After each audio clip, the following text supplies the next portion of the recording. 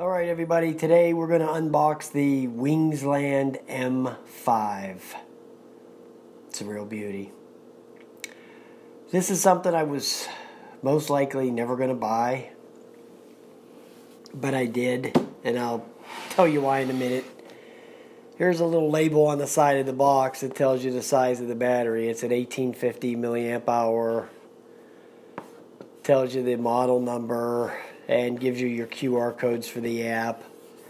That's all on the side of the box.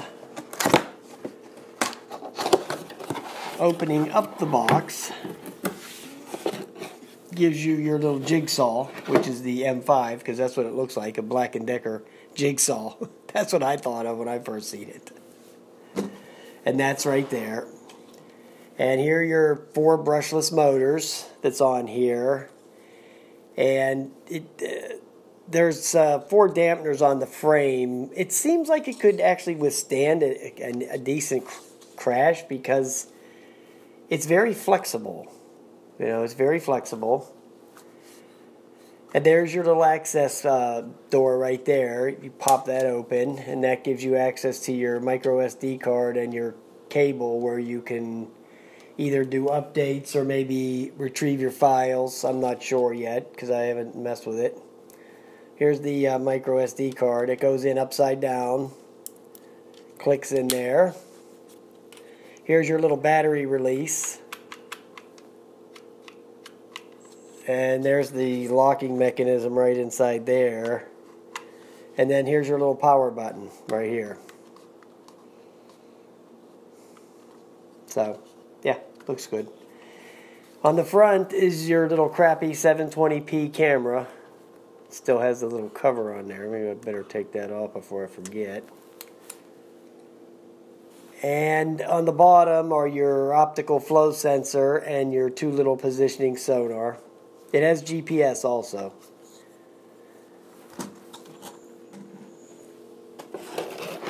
Now let's get to the part, I think it's this box, uh, the reason I actually bought this thing. And there it is. For the controller, for the transmitter. And it just folds out like this. This is how the antenna fold out. And when you pull the arms down here like this, it turns it on. Then there's your little Wi-Fi signal and you slip the phone in by sliding it on here and pushing down on that like that. And that'll let you slide the phone in. Which I'm not going to set the phone up right now. But uh, that's how you do it. It's not complicated stuff. Then to turn off the transmitter, you just close it. To charge the transmitter, you put the USB cord right into there. Charges it right up. There's the USB cord for doing that. It's right there which I have 5 million of them, so I'm not even going to open that.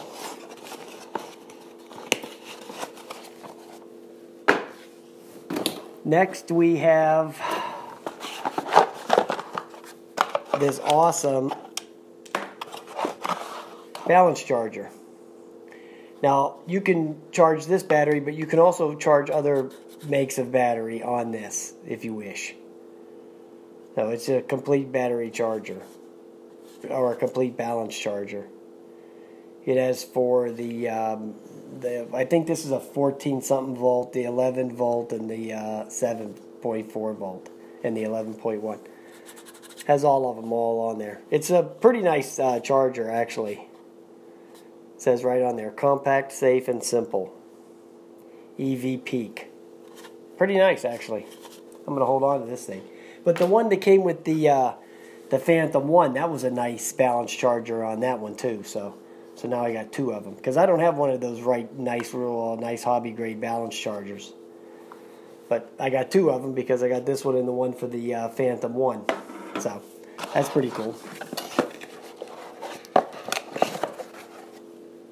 That's two boxes down, and then the last. I think there's two more. Let's get that out and this out. Oh, this is the battery.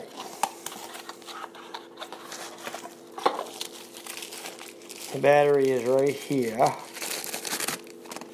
It's a nice, healthy looking battery, that's for sure. And it's not swollen or anything like that, so it's a good one. It's a 1850. 14.8 volt. Now I think they claim like 18 minutes of flight time and all that, but you know how the flight time, that flight time stuff's exaggerated. And here's the connector to hook it up to the quadcopter, and it's labeled for you. So, but there's only one way you can fit it on anyway because it's got the curved JST connector. It's curved on one side and flat on the other. So you can't put it on backwards, but they label it for you anyway. So that's the double idiot protection. Okay, it just don't have the single moron proof. It's the double moron proof, which would be me. Okay, then you just click it in there. Now I saw a couple of videos where the person was able to pull it right back off of there. Um, I think it might have been Andy, where he was able to just pull it right back off of there. But I, mine's not doing that. You'll have to do the lock to make that work to make that happen, get that off of there. You'll have to hit the lock release because mine snaps in there good, and it doesn't uh, it doesn't pull out. And here's the bag of props. They give you two spares. See, we're going to take it up here in the house for just a second. I'm not going to set up the app or anything today because I really don't feel like it because I'm not going to go outside. It's windy and cold and snowing and ugh, it's terrible here. So I'm going to dig out a couple packs of props. So you got your clockwise and your counterclockwise and you have to look on here Okay, I think this one is the counter, which would be this one here with the white one. So you just put them on here and push them on.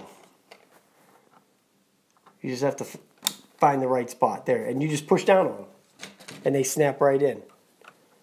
You just have to find the right spot for them to push down.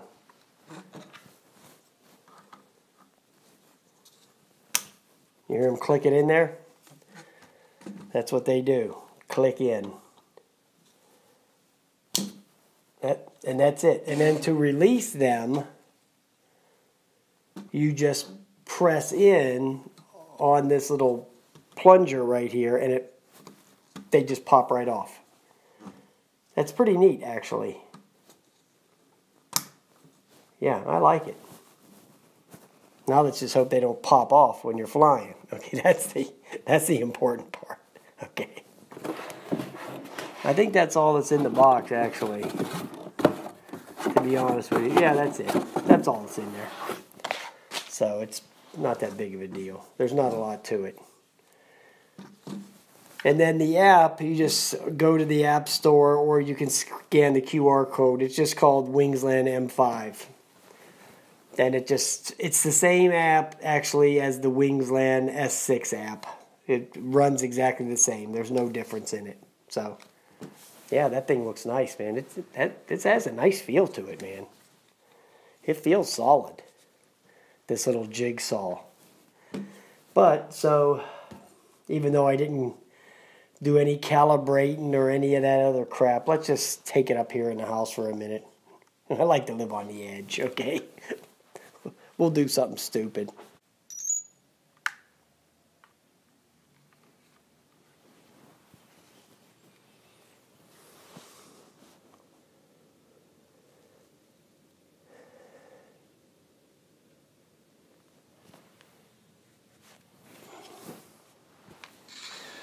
Okay, it fired up. Oh yeah, it does that nice little thing like the Mavic Pro does.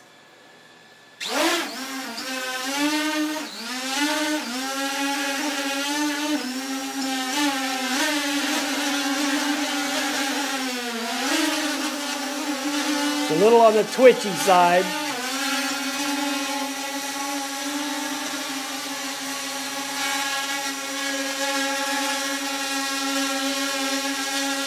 I don't see the land button working at all. I mean, the thing's never been calibrated or anything, so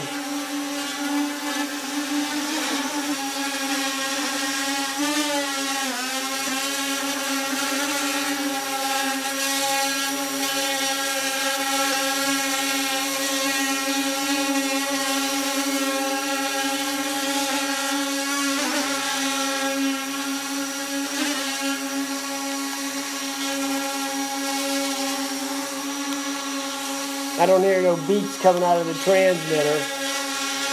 So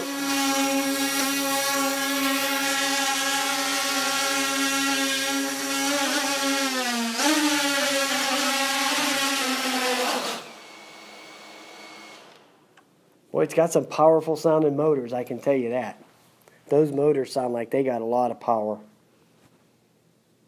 I didn't look up the specs on them, but you can tell by this noise that they make that uh, they're pretty healthy. They're not warm at all either. All right, guys. I have to get this thing all configured and set the compass and calibrate it and do all that mumbo jumbo. But as it is right out of the box, it'll fly without no using no app. So I might do one of those uh, fly without the app flights just to see how what kind of range or what kind of distance they'll let you fly it without using the app. Some of them will let you go far, and some of them won't. So we'll see. All right, guys, there you go. Have a nice day.